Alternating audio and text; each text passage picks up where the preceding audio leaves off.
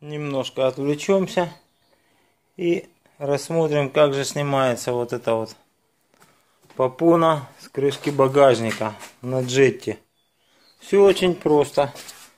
Вот здесь, вот на уровне вот этого отбойника и этого, есть два таких, сейчас я их сниму. Вот они. Под шестигранничек. Два здесь шурупчика вот. И два здесь. Вот, они вот так расположены. Вот, смотрите.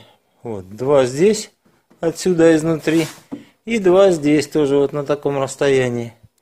Дальше мы вот такие вот защелки. Где-то они выходят, где-то они вылазят, потому что если со сдвигом они могут вылезти. И все довольно-таки просто снимается. Вот. Я буду это снимать все и выкладывать. Почему? Потому что для тех, кому не ясно, непонятно, чтобы не ломали, не крушили машины, а брали, люди пользовались.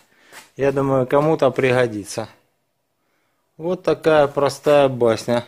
Вот это вот, это все технологические как бы отверстия для обслуживания ну вот там, допустим, это для замка, а это для того, чтобы долезть до лампочек, до фонарей.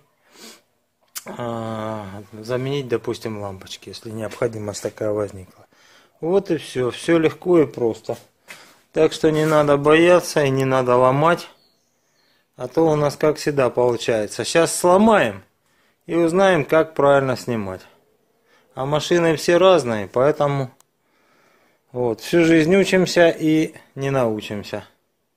Вот, будем вот такие видео снимать и выкладывать, чтобы кому-то стало полегче. Вернемся еще раз. Вот они, эти зажимчики. Вот, единственный один у нас соскочил. Вот. И вот. В этом месте два штуки соскочили. Остальные все эти скрепочки. Вот такие они пружинные. Вот.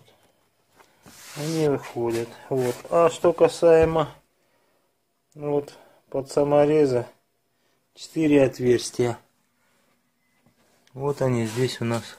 Вот раз, два, три, четыре.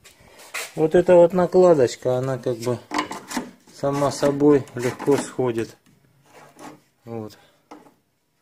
Стоит она здесь. Ничем она особо тут не закреплена, поэтому вот она легко отходит. То есть 4 самореза выкручиваем, вот они.